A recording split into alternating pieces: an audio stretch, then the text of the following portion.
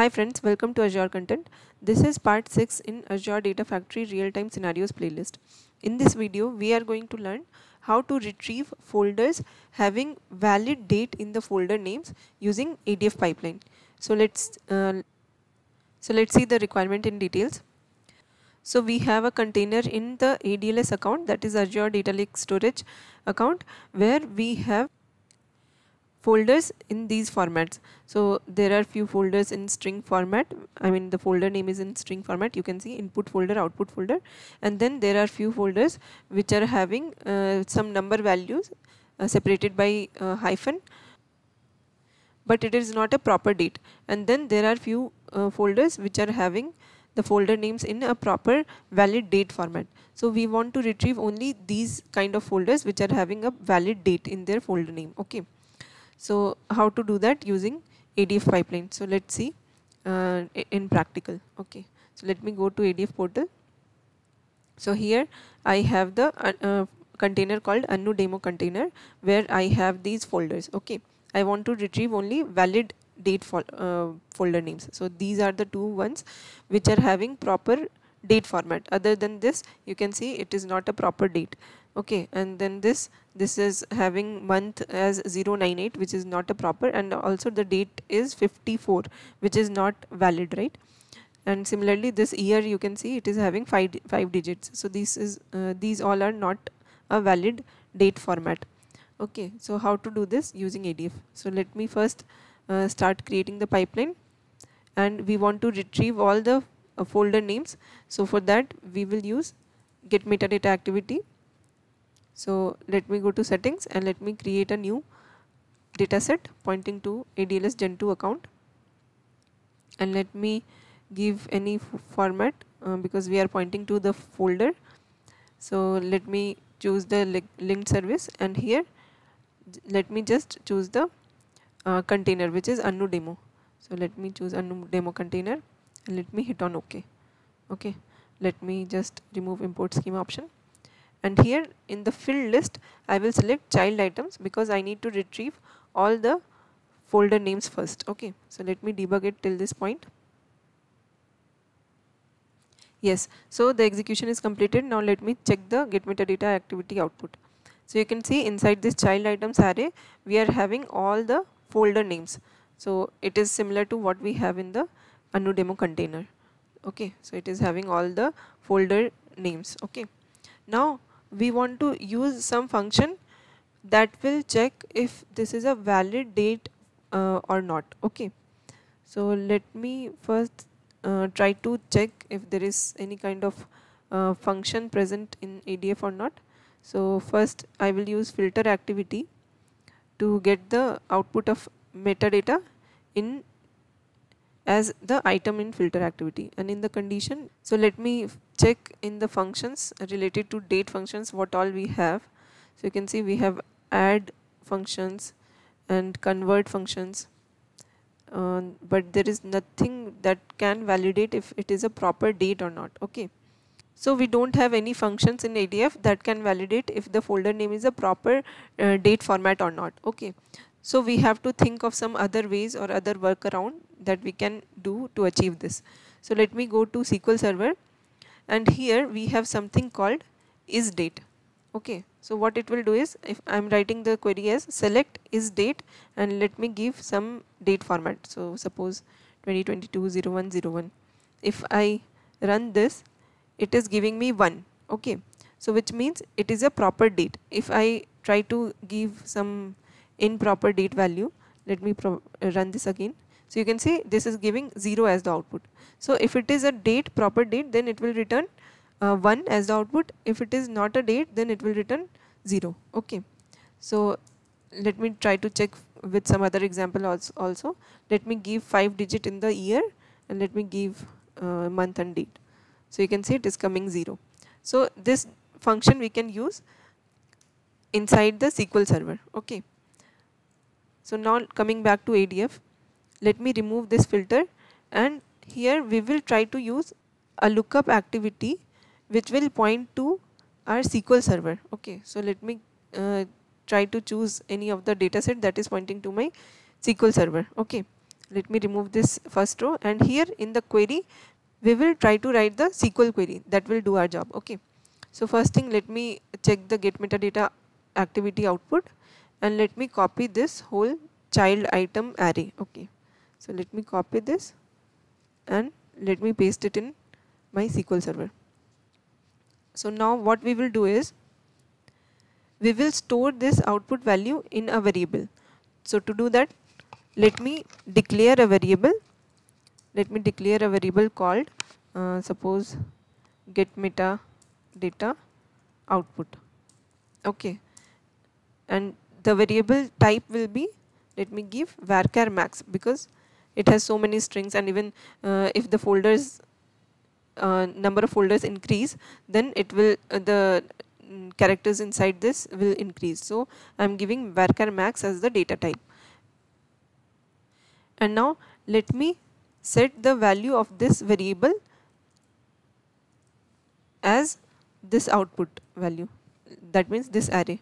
Okay. So I just declared a variable and stored this output of get metadata activity into this variable okay. Now we have something called openjson function in SQL so let me make use of that. There is something called openjson openjson function. And inside that function it, it is a table valued function which uh, what it does is it converts a json type of data into tabular data in sql server okay so uh, to know more about this function i have uh, created a video uh, in my synapse playlist so you can check this part 8 of this uh, synapse play playlist where I, we have talked about OpenJSON function in details. So I will provide the link of this video in my description of uh, uh, the ADF video. Okay, so please take a look on that. And here it is a table valued function and here we have to provide the variable as the argument. Okay, we have to provide an argument where I am giving this variable. So let me run this till this point. So now by default it creates three columns called key, value and type. Okay. Now we are getting each of these items of array as one row. Okay. So you can see inside this value we are getting th uh, this value as the first row. Similarly this is the second row. So we are getting all these in uh, tabular structure. But what we want is we want to get this name as the column and value present inside this uh, as the uh, row. Okay. So for that what we can do is we can make use of something called with clause here. And we can define our own column name. So let me give folder name as the column name. And what will be the data type of this folder? Let me give varchar suppose uh, let me give 50 to store the value present inside this uh, key value pair okay so from where we are getting this folder name we need to get this from the uh, name column path okay so for that we have to give under quotes we have to give dollar dot name okay because name is the property which is holding these values okay. So let me run till this point yeah. So the first uh, output is for the select statement that we have written let me remove this or comment it, comment it out okay let me run it again so you can see we are getting only the folder names with the proper values. Okay. Now we want to check what are the valid date formats. So as I told you this is date function is the one which will tell us uh, after validation if it is a proper date format or not. Okay. So what we can do is we can check out of all these records wherever is date of the folder name is 1 we need only those records. So let me use is date function and inside this we will give folder name as the argument and if it is equals to 1 then we need only those values. So we are expecting only these two values that is 2020 uh, 09 24 and 2022 01 03 should be coming out uh, as the output. Okay.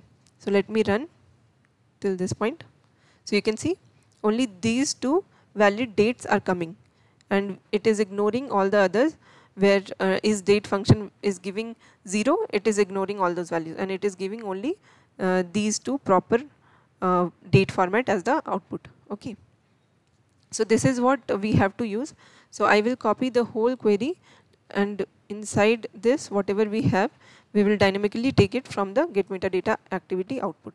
So let me copy all of the query. Let me go to ADF again and here in lookup.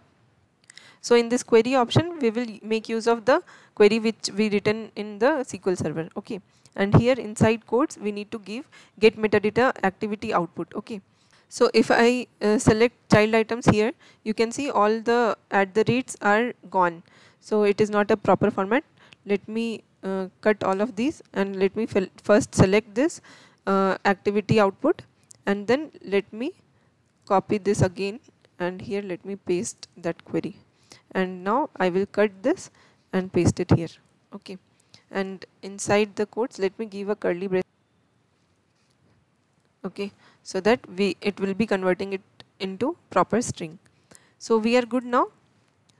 We are expecting it will dynamically take the values from the get metadata activity output and it will store it in this variable and then it will convert the JSON into proper table format and then out of all the rows it will check wherever the folder name is having a proper date format then it will return the same as the output. Okay.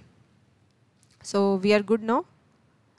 Let me run till this point.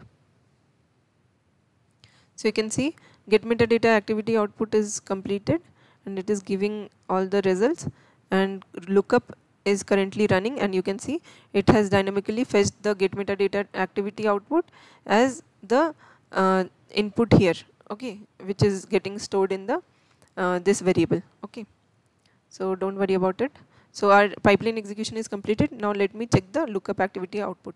So you can see only two records are getting fetched. That means only proper date format of the folder is coming as the output. Okay? All the others are getting ignored. Out of all these we are getting only these two values as the output. So our requirement is met. So let me go back to presentation. So uh, i hope you like the content so please try to practice all of these small use cases uh, it won't take much time and you will be uh, having a proper uh, practice on the hands-on of uh, ADF okay so please like the video and please uh, subscribe to my channel if you haven't done it yet and please hit on bell icon to get notifications whenever I add videos. Thank you so much.